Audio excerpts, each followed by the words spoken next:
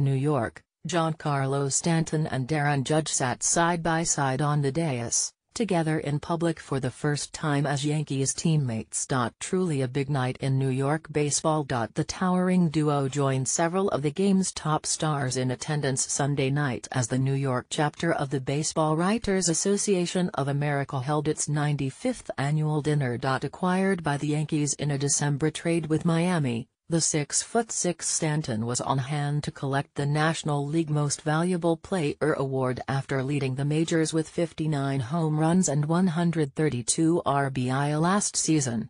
This has been an amazing ride and I'm excited to be here in New York and experience the big city, bright lights, and this is going to be a lot of fun for me, said the eight-year veteran, drawing loud applause. Standing a smidge taller at 6 foot 7. Judge took home his own share of hardware.